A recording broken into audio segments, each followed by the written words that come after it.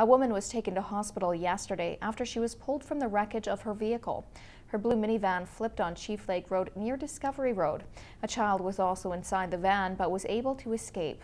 Prince George Regional Highway Rescue volunteers used the jaws of life to pull the driver from the vehicle alongside the Pilot Mountain Fire Department. The woman was taken to hospital. There's no word yet on the cause of the crash.